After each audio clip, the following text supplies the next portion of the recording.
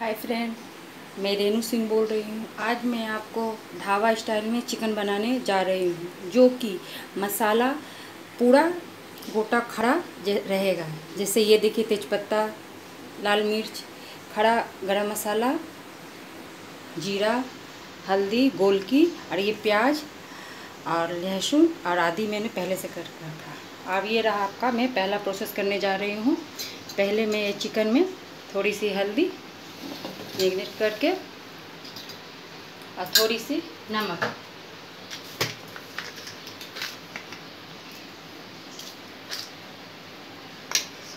इसे मैं पाँच मिनट के लिए मैगनेट करके छोड़ दूँगी।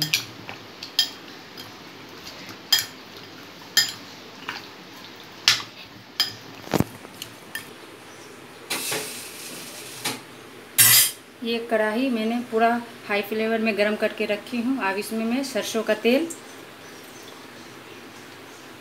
डाल के, जब गरम हो जाने के बाद ये कढ़ाई गरम हो गई ये तेल।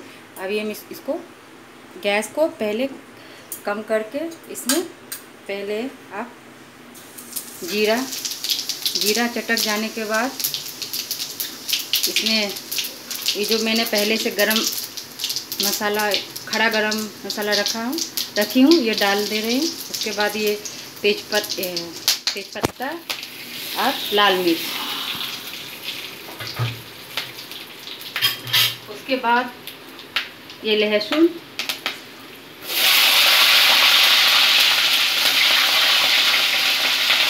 उसके बाद ये प्याज।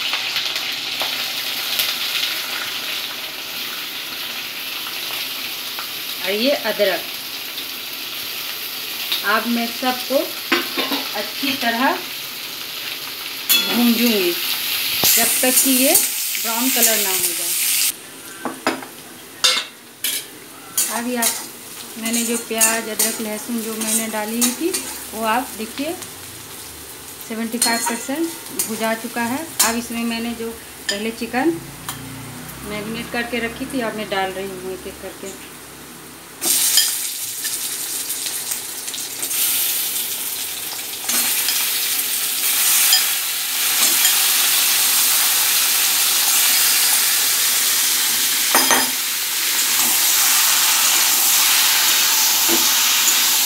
अब हल्का आँच करके, पाँच से दस मिनट तक इसे मैं भूजूँगी।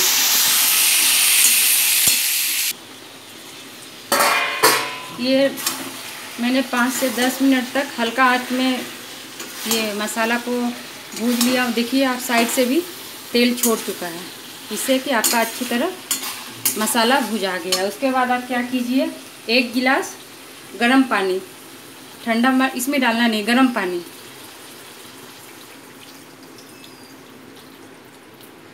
बस, ये डालने के बाद आप इसमें गोल की, मैंने पहले से कूट के रखी हूँ, ये हल्का सा डालना है। अब इसे मैं ढक के छोड़ दूँगी। कोई दस मिनट रख रखिए बस।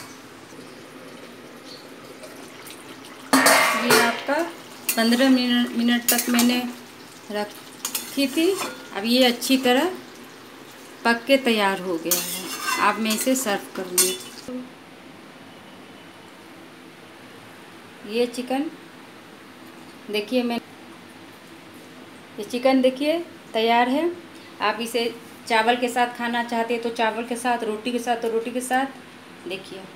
अगर ये आपको वीडियो पसंद है तो प्लीज़ लाइक और सब्सक्राइब ज़रूर कीजिएगा।